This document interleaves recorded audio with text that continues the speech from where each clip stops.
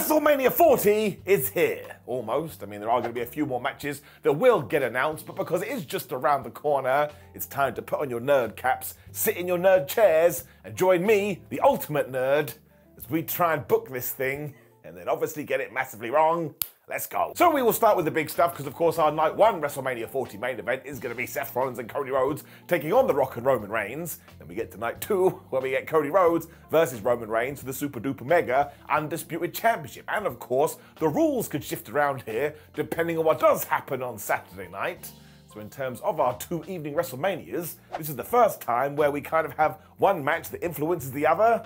I like it. Now, the most obvious thing we can do as well, which is why we should do this, is have The Rock and Roman be successful in that tag match. Because then when we do fast forward to 24 hours later, you can have all the shenanigans and you can overbook these things like crazy. Sometimes that just makes all the sense in the world. Don't ask me why, it just does. It also means we can be there going, oh, how is Cody Rhodes going to overcome all of this? Because Jimmy Uso will be there and so Cole will be there, and who else knows from the bloodline? When all of a sudden we can merge the narrative we have been telling for the last couple of years, because Cody's Avengers can show themselves, and this could be a Seth Rollins, it could be a Kevin Owens, it could be a Sami Zayn. I mean, the tribal chief has pissed off a lot of people why wouldn't they want to come out there and sock it to him? Now, this is where we do have to take a quick detour as well, because I think all this may tie into another match.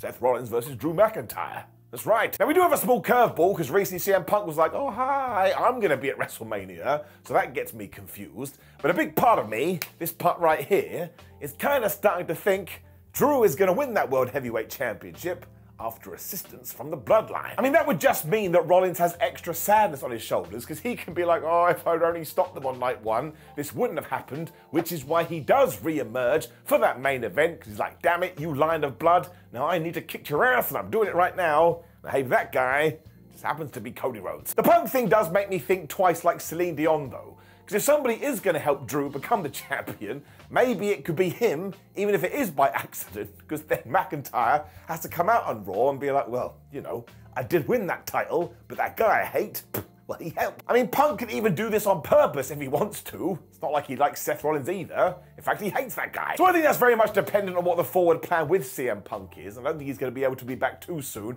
because of his tricep injury, so you don't want to go too far. And of course, the other positive for the bloodline helping Drew is on that occasion, when he does come out to do his big Raw promo, he can just ignore this totally. Because as we do know, while he does tell the truth, he's also become a massive hypocrite. All these bloodline attacks also do tie into this big main event on Sunday, obviously.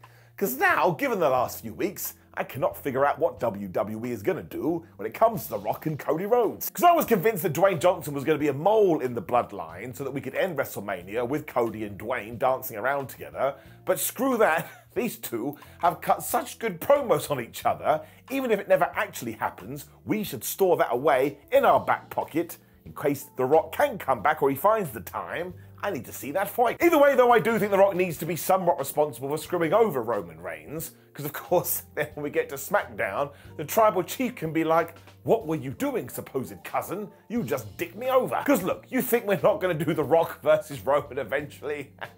of course we are. It will probably be at WrestleMania 41. You know Dwayne Johnson. He likes to plant those seeds a long ass time out. I get there is a lot of overbooking in there as well, as already mentioned, but we do have a lot of masters to serve here, because every single person that has been involved in this storyline, well, they have to get their comeuppance, otherwise, why did it last so long? I do think ultimately, though, as long as we do see Cody with that championship when WrestleMania comes to a close, everyone is going to be happy, apart from those few naysayers that hate everything, but also it will give you that warm and fuzzy feeling in your tum tum. We all seem to have forgotten about this. That's the point of WrestleMania. It's meant to culminate when you go, oh, I'm so happy. You don't watch it to be sad, do you? Again, there is an answer to that. I don't want to talk about it. Going off that point as well, I guess we'll throw it in here. Because there is a contingent that is all like, no, Cody must lose, and Seth Rollins should screw him over. I'm just going to make this very clear. What is wrong with you? I mean, this is like watching a Disney cartoon when Scar just goes, and he stabs Simba right in the face, or Gaston gets a shotgun and he blasts the beast's head off. I mean, it can work sometimes, but ultimately, do you want to know why some conclusions are obvious? It's the obvious thing to do. We also kind of toyed with this at WrestleMania 39, and in retrospect, I think WWE did very well with it. But you don't want to annoy your audience too much, and by going, he didn't win again for the second time, Oh, you're just setting Cody Rhodes up for failure. And you shouldn't be doing that. He's the hottest white meat babyface they've had for ages. We should be lighting a fire under his ass. I also think it would be a massive help for Roman as well, because when he does lose his championship, not only can he start portraying a brand new character, but it also opens a new door for him to tell new stories. I mean, if you do do it correctly, all of a sudden, a few months down the line, he can become a babyface, and all of a sudden, he has a bunch more different opponents that he can go and work with. I mean, he has gone through everyone. I just don't think you want to miss the optimal timing, and I know people go, what about Hulk Hogan's title reign that he needs to beat? No, he doesn't. At this point, it's just numbers. And he's already in the top five list. I mean, that's absolutely incredible. No one's going to take away his flowers. But there is actually more to this as well, because when you do run through this card, you can be a mega geek and go, wait a minute, WWE could actually change every single title should they so want to. You do want to keep some bullets in the chamber though, because again, you do have Raw and SmackDown to book when WrestleMania is over. That's why I'd go to Rhea Ripley and say, listen, Rhea, you're going to keep that damn title. I still think Becky Lynch should win it down the line, maybe at SummerSlam. But if you do do this and surprise everyone, the Rhea Ripley that we know now is going to become an even bigger star because once again, she can walk out on Monday and go, what did I tell you? No one can beat me. I'm the nightmare. It also means Becky can start doing something after Mania as well, and there's a bunch of other programs you can jump into. I don't think it's going to affect her really. She's Becky Flubbing Lynch. She too is a megastar. It also leaves the door open for Bayley to defeat Iyo Sky for that championship because Bales deserve her WrestleMania moment which is exactly the same for one Sami Zayn. He can become the Intercontinental Champion, and this is basically another Roman Reigns situation. Gunther has held it for long enough, and even if he does get defeated, if in a week he was in the main event scene fighting for a World Championship, nobody would care He's just too good. It also means finally Sami can get a proper run on the main roster with a singles title, and of course, who's already waiting for him is Chad Gable, I want to see that feud. I also do find that it makes the United States Championship very interesting, because of course it can go one of three ways. Either Logan Paul retains it, or we give it to Kevin Owens, or flubbing Randy Orton. Now I can understand any of these, because Paul is a one-of-a-kind talent that we should keep pushing. Kevin Owens is so underrated and so undervalued, and before he does call it a day, he needs a run as the World Heavyweight Champion, or the WWE Champion. And when it comes to Randy, I mean, he's already a bona fide Hall of Famer. So if you give the US title to him, well, in 2024, we can start doing with that championship what we did with the IC title and Gunther, although this time we give it to Randy. Got it? Good. If you wanted to make the argument that right now, when you do look at the US title and the IC title, the IC one is a little bit ahead, yeah, I'd agree with you. So maybe it's time to start focusing on the other one. You also don't need to over egg the pudding here. Just take what we did with the Ring General and paste it all over the Viper. That sounds weird. It would also very much be a situation where the man is making the title and the title isn't making a man. But once again, because it is Randy Orton, if you treated this in the right way, you may even get to the stage where it can headline a pay-per-view premium live event. That should always be the aim. There's more connections here as well because we are going to have brand new tag team champions. Mostly because I believe the reason we are doing that ladder match is because one set of titles is going to Raw the other one is gonna smack her down. It just seems like the easiest way to end this thing in the sense that Raw team grabs one and the SmackDown team grabs the other. And while I definitely would give one to the Awesome Truth because they deserve it, the other could go in any direction.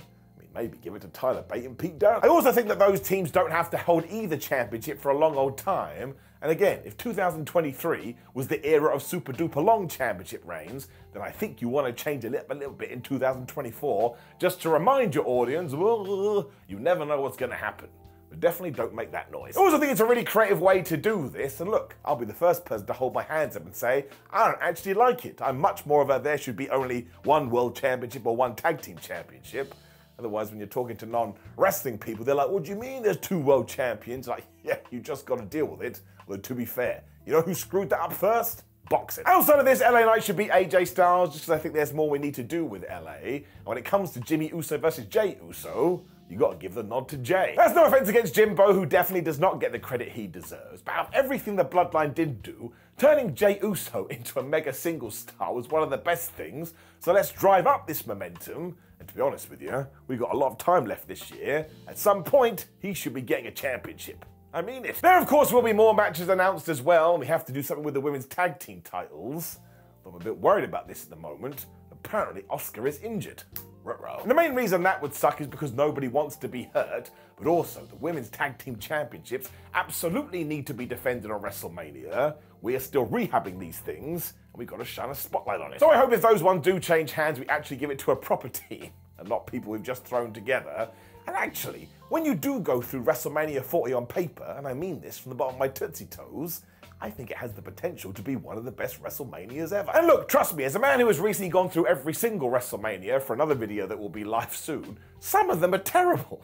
Don't mean that in a horrible way, but overall you kind of scratch your head like, man, that went in a really weird direction. So if WWE does get everything right here, I think it could be totally fabu. I mean, ironically, it does have one big story tying it all together.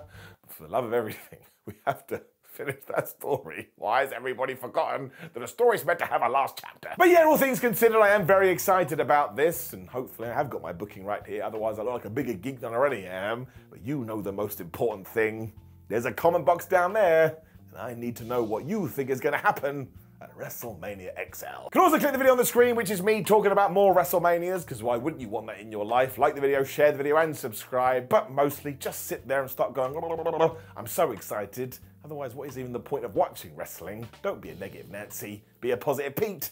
See you soon.